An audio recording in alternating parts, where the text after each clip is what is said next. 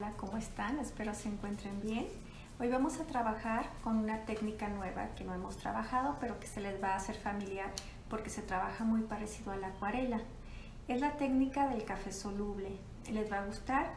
Este, pues son tonos monocromáticos porque eh, con un solo tono vamos a, dar distintas gamas de color, desde los más claros hasta los más oscuros. Vamos a hacer nuestro dibujo en forma vertical. Vamos a aplicar primero la línea de horizonte.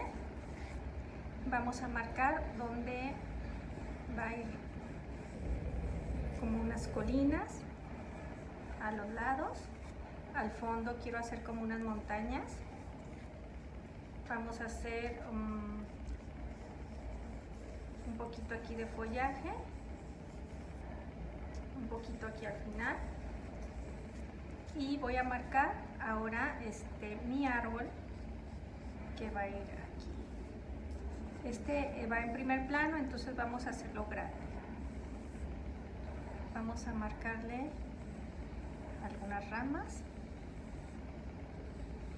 De las ramas salen otras ramas.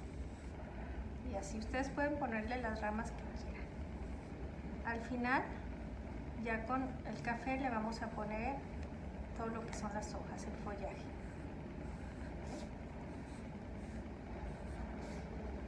Bueno, una vez que tengo definido esto, esto va a ser agua. Todo esto va a ser agua que se va a trabajar de manera horizontal.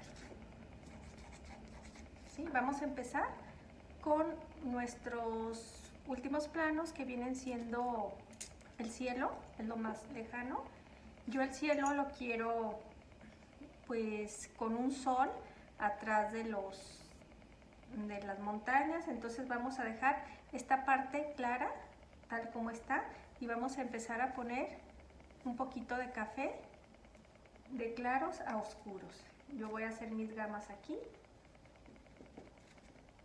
Las quiero oscuras, pero no tanto.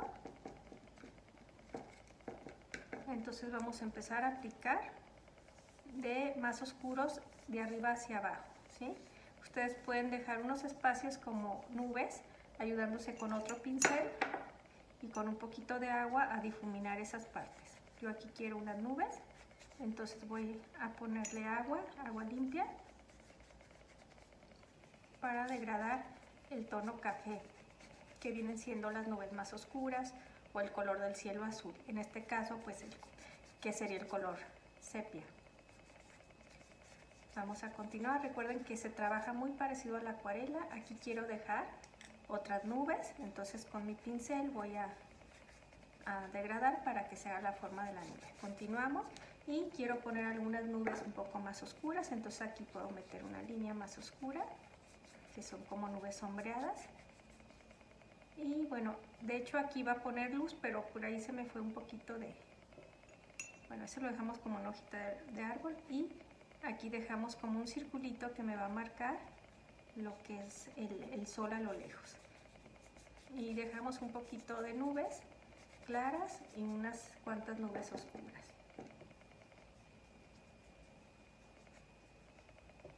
Recuerden siempre utilizar un pincel seco o un poco mojado pero con agua totalmente limpia para hacer esa degradación hacia los blancos.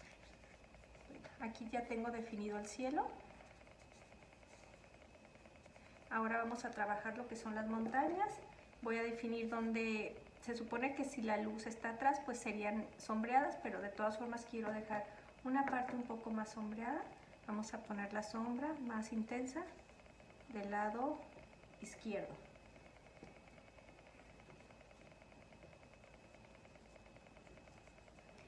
Con la ayuda del pincel vamos a dejar algunas partes claras para dar ese volumen que tienen las montañas, que tienen muchas rocas, tienen follaje, todo eso, pero que no lo podemos hacer a detalle porque está muy lejano, pero sí darle un poquito como de esa textura para que tengan la sensación de que hay cuevitas y hay todo eso. Marcamos la otra montaña, igual ponemos los oscuros